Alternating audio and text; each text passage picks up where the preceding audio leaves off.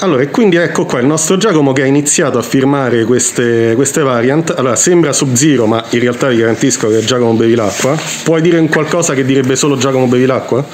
Uh, come over here, ma no, quello è No, quello è, quello è Scorpio. Vabbè, uguale, no, cambia il colore.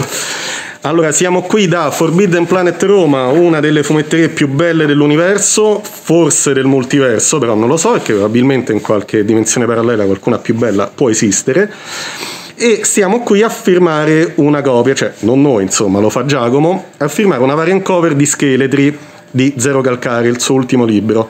Allora Giacomo, perché hai disegnato la copertina del libro di un altro? E perché la stai firmando adesso? Ma allora, un po' perché me l'ha chiesto. E un po' perché me l'ha chiesto per favore e io quando vedo la gentilezza negli occhi di Zero Calcare proprio mi sciolgo e quindi non sono riuscito a dire di no e non sapevo che dovevo venire qua a firmarle tutte e 500, se no gli avrei detto di no. Ok. E... No, eh, perché sì, perché, perché, ho letto questo libro. Intanto prima di dire sì ho voluto leggere, perché metti che faceva schifo e, e segnava il declino ufficiale del zero Esatto. Io non avrei voluto mettere. Non volevi essere legato, diciamo, esatto, a questa non cosa. Non avrei voluto proprio mettere una firma su una cosa del genere. Invece l'ho letto ed è proprio figo. E quindi ho detto mi piacerebbe fare effettivamente la copertina di una copertina variant, no, una copertina sovraccoperta di un, uh, di un fumetto così figo. L'ho fatta. E quindi adesso sono qui a filmare.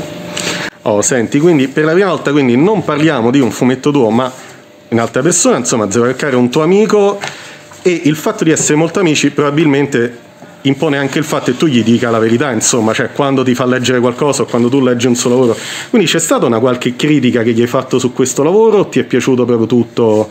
Un, magari un qualche passaggio che non ti ha convinto, qualcosa che... Sì, allora c'è stata una cosa che gli ho detto appena ho finito di leggere questo libro ed è stata una cosa che posso dire pubblicamente perché non mi vergogno affatto, c'è una scena in cui lui scavalca un cancello all'interno del libro che si è disegnato ricalcando un pretzel. Non ho capito come cazzo ha disegnato sta scena di lui che scavalca, ma pure detto l'ho rifatta 20 volte, 20 volte l'ha fatta quella scena. Cioè proprio sembra non so, è un, è un prezzo di quelli proprio prezzo. Cioè, sì, sì, sì. Non so come, eh, come, gli è uscita fuori quella cosa. A parte quello è un bel libro, ecco. No, è molto molto molto bello. Non forse... disegnare se stesso che scavalca. sì. È palese. Allora, guarda, forse, insomma, per la mia modestissima opinione, forse addirittura uno dei più belli che ha fatto, forse uno dei più profondi. E insomma ci fa molto piacere vedere in qualche modo, anche se di striscio, diciamo così, sei stato coinvolto anche tu con questa sovraccoperta che potete trovare solo qui da Forbidden Planet Roma, potete venire soltanto qui a prenderla, quindi se vi trovate a Roma oppure avete ecco, insomma, una buona occasione per venire,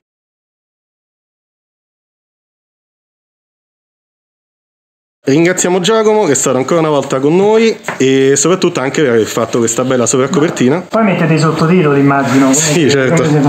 Sì, sì. D'accordo, ecco qua, vi facciamo vedere firmato, vedete 500 copie in esclusiva per Forbidden Planet Roma. Grazie Giacomo. Ciao. Allora, dietro questa pila di variant sovraccopertine di scheletri c'è Michele Zero Calcari, opportunamente mascherato, però insomma ovviamente eh, bisogna tenere le mascherine e sta autografando una per una, così come già ha fatto prima Giacomo, eh, ogni sovraccopertina, sono 500. Con le... nome per esteso io, diversamente da Giacomo. Eh? Esatto, le potevate trovare da Forbidden, ma sono, ci informano che sono già esaurite, quindi insomma e non le potete trovare più. Come stai, Mica? Sono vivo. Beh, insomma, questo ci conforta. Mi sembra già qualcosa. Esatto, allora vogliamo cominciare subito a parlare di politica, di, di cose, del fatto che sei un personaggio eh, ispirazione per la nuova generazione, tutte queste cose. Sai, tanto per metterti a tuo agio, dai. O se no parliamo di bambini. una, una cosa meglio dell'altra.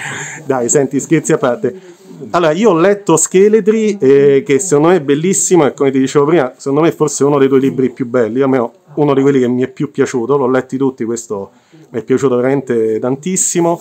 Volevo sapere in percentuale quanto c'è di vero de- delle vicende che racconti. Allora, c'è intanto c'è davvero la cosa che tutti pensano che è finta, che è la roba del dito.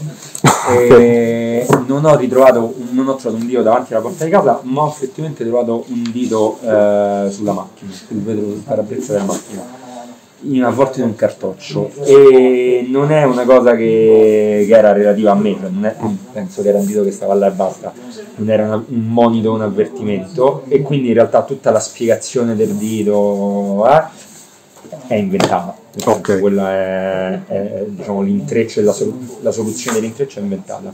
Invece il, ehm, quello che succede, eh, incontro con quella persona, con quel fischello in metropolitana, eccetera, lì è un mischione di sono tutte cose vere sostanzialmente ma mischiando quartieri persone diverse. Per esempio molte di queste cose non sono successe a Re Bibbia. La sala giochi non era la sala giochi delle Bibbie era un mischio c'era una sala giochi che sta verso piazza Sempione eccetera quello perché un po' per motivi anche di tutelare le persone coinvolte eppure me stesso visto, visto le persone coinvolte ho preferito mischiare un po' le carte su quelle robe là. Quindi insomma, Harlock è esistito? Diciamo che se una persona mi conosce da abbastanza tempo, capisce chi è quella persona. Ok. Quanto tempo ci hai messo a fare questo fumetto, considerando che probabilmente il primo libro, comunque il primo fumetto in assoluto in cui si fa riferimento al Covid, perché al momento eh, non c'è stato nessuno, quindi presumo che non so se alcune cose le hai aggiunte in corso d'opera eh, o le hai modificate. No, ma io ho fatto tutto dopo il lockdown, nel senso che durante il lockdown io facevo i cartoni animati per propaganda, quindi non c'avevo- avrei dovuto usare il tempo per fare questo libro, ma in verità non ho fatto manco una pagina in quel periodo lì. E a maggio ho cominciato a farlo, mi sono chiuso dentro casa appena se appena il resto del mondo è uscito, mi sono chiuso a fare questo libro e sono arrivato alla consegna che era inizio di settembre. E così. Ah, quindi è proprio cotto e mangiato, incredibile. Però la storia era, cioè diciamo che la traccia della storia era stata preparata già un- alcuni mesi prima. Ok, senti, tra l'altro citando i, cioè parlando dei cartoni animati che hai fatto per propaganda, praticamente sei stato una delle pochissime persone che durante la quarantena, diciamo, è diventato ancora più famoso, cioè insomma, chi non ti conosceva per i fumetti adesso ti conosce anche Lo per questo. sciagallo del lockdown. esatto, ci hai fatto i sordi con lockdown. No, io vorrei dire che ci ho fatto 8.000 euro con, tutta, con 35 minuti di animazione. Però, Senti, ma e quindi quando continueranno questi cartoni? Guarda, in realtà questi cartoni sono impossibili da fare se non durante un lockdown. Nel senso che comunque per fare 5 minuti di animazione significa stare 5 giorni a settimana, 12 ore al giorno, chiuso dentro, eccetera. E quel giorno che avanza lo passi a guardare i social di tutto il traffico che hanno generato. Quindi in verità è una roba che si può fare soltanto se ci richiudono dentro casa. Se no anche così, che anche solamente il fatto di venire un pomeriggio qua, andare un giorno a pranzo fuori, eccetera, rende proprio impossibile questa cosa. Vabbè, certo. Quindi, vabbè, ci stai dicendo che è la seconda stagione, insomma, alle porte. e alle volte prossima, insomma. Senti, l'ultimissima cosa, non adesso perché in questo periodo immagino sarai impegnatissimo come non mai, soprattutto quando insomma esce un libro, però tra qualche anno ti piacerebbe fare un prodotto seriale? Sempre di fumetti parlo, eh? Wow. Eh, un prodotto seriale di fumetti. Ci ho An- pensato. anche una miniserie, Sì. volendo. Ci ho pensato negli anni e non so se sono capace in realtà, nel senso che non so se so, se so tenere, cioè per avere un prodotto seriale a fumetti vuol dire che ogni modulo, eh, cioè ogni numero, ogni modulo deve avere in sé l'elemento tragico, l'elemento divertente, la parte di suspense, lo showdown, eccetera.